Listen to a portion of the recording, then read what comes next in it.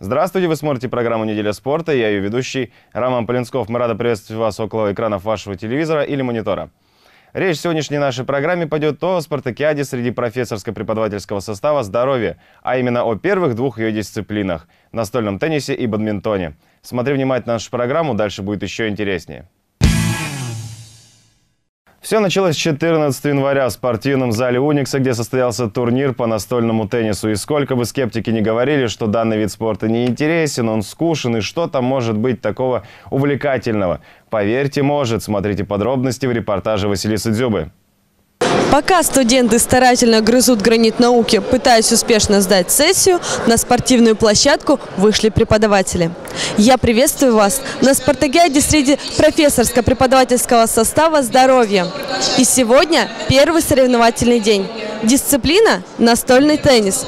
Посмотрим, насколько хорошо преподаватели знают тонкости данного вида спорта по сравнению со своими научными дисциплинами.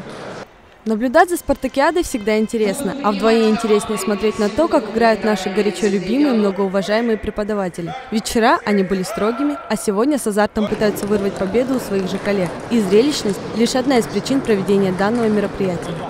Ну, данная спартакиада, она зародилась еще, когда вузы у нас отдельно существовали. Можно считать ее все-таки традиционной. А, и а, радует то, что она у нас существует ежегодно, и э, с каждым годом все количество участников увеличивается, и э, приходят новые и новые команды. В данную спартакиаду ежегодно прорабатываются те виды, которые самые популярные среди профессоров состава сотрудников. Учитываем пожелания э, всех подразделений и стараемся найти максимальный выбор. И э, ставим те виды, которые наиболее массовые и доступные.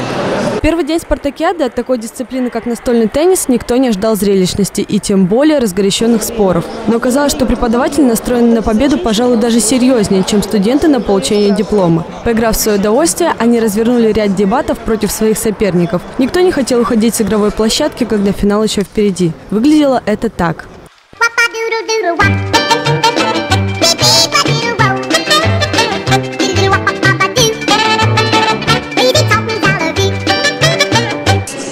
Том, что соревнования проходят интересно, мне даже нравится, потому что они все время с амбициями приходят люди, выходят и приходят спорные, решать спорные моменты. Спорный момент. Спорные моменты э, происходит дело в том, что у нас судят студенты, студенты ошибки не исключены. Довольны? Мне кажется, довольны все финалисты. Они всегда довольны проигравший всегда недовольны. Но, тем не менее, призеры и победители были выявлены. Третье место занял департамент по молодежной политике и студенческий городок. Серебро досталось команде IT-лицея, но золото осталось в стенах Уникса, общей университетской кафедры физического воспитания и спорта. Да, сегодня было сложно играть, э, хоть команд было меньше, чем в прошлом году, но соперники появились очень достойные. Любая победа приносит удовольствие тем, кто играет и тем, кто болеет за них. Я нашей кафедре желаю удачи. Мы хотим выиграть эту спартакиаду. Ну, всем удачи! Едем дальше. Уже 15 января все спортсмены переезжают в спортивный зал Института управления экономики и финансов Казанского федерального университета, где разыгрывают очередной комплект наград, но уже в дисциплине бадминтон. Что самое интересное, совпадение это или нет, я не знаю, но многие скептики тоже говорят, то, что данный вид спорта опять тоже не интересен. Не тот вид спорта вы выбрали. Поверьте, я могу вам с полной уверенностью сказать, то, что выбрали все те виды спорта, и этот не исключение. Не веришь мне, смотри внимательно на наш репортаж, который подготовила для нас Марина Вахрушева. Во второй день спартакиады мы наблюдали за тем, как наши преподаватели умело управляют ракеткой бадминтона. Казалось, что каждый из них посвятил данному виду спорта уже немало лет.